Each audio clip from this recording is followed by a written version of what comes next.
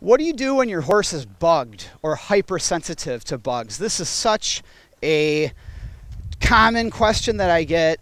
And this is the time of year where it's beautiful and we get to be outside and we're excited. And all of a sudden we come out to the trails and our horses are throwing their heads and they're uncomfortable because of bugs. So what do you do about this? Let's let's talk about that. So I'm on a thoroughbred that's got quite a bit of life. He raced a long time. So he's got some brace in there. And, uh, and so the bugs, it's one of those things where, you know, you can tell it bothers him. He's sensitive. So let's talk about this. When he is bothered by bugs, his life is going to come up. And that's why he's throwing his head. Let's embrace that and say, you know, if your life is up, let's go for a little trot. Now, I don't want to go running back to the barn yet. But what I might do is say, you know, you're bothered by those bugs, so let's move. And that's going to do two things. It's going to take that energy that he has, that that uh, sort of life that he has, it's going to put him to work, directed into something like movement. There's another feature, and that is we will be moving, air will be flowing, and the bugs won't be as bad at the trot. Now I'm pretty bold, so I can take a horse, and if they're bothered by by bugs, I can canter or gallop, and then I really don't have an issue of bugs. But for me- most of you, just even trotting is enough to get a little airflow and get your horse to where he's not being bothered as much. So as we go, we're just using obstacles. I want him to think about his feet, not about bugs on his side or bugs on his head. I want him to think about his feet. Take that energy and that life put it into looking at where my dog is here or where your feet are, what's in front of you. Go through some brush because that's going to rub the bugs off of them and move them for some time, maybe a few minutes, depending on your situation. I might reach up, uh, grab some branches. I might even reach over and help get the bugs off of him and make him understand that I'm a good guy because I'll help him here. You've got some bugs on your neck, I'll help you. You've got some bugs on your rump, I'll help you. Take the whip, use it as a fly shoo as you're moving. Pretty soon, he will become more comfortable. So back to work. So what I want is movement because he's irritated and he's not comfortable standing still or walking slow. Now, I want you to think about something.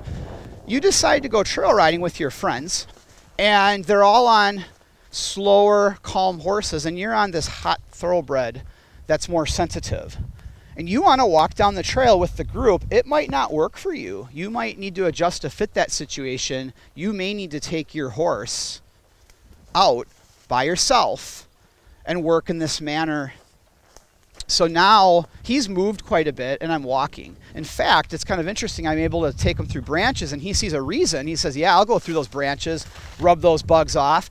A little more reason to go through that.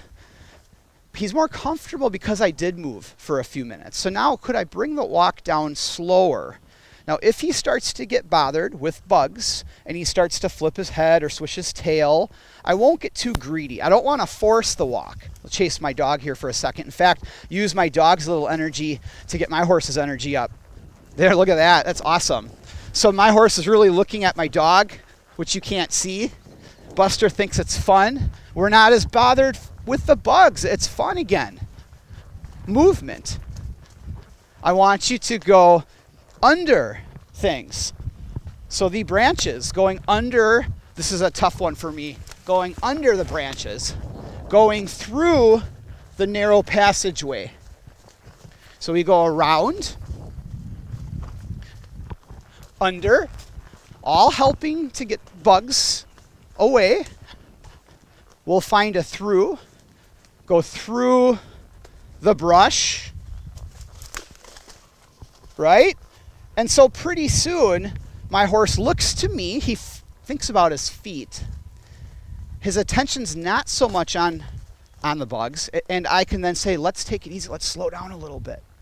And maybe even we'll get to a place where we can stop. Now, don't get greedy because if you stop too long, he's going to get antsy, he's going to throw his head, he's going to swish his tail, he's going to get bothered, his life will come up, and he'll want to move. But if we think about this, we can take this sort of irritation, right? And we can use it to get our horses lively, directed into what we want, work, and use that as a lesson to work with our horses. I hope that makes sense about what to do when your horse is bothered by bugs. I hope this, these are some techniques that you can use. Take, take this and go ahead and give it some time, practice with it, see what you can do.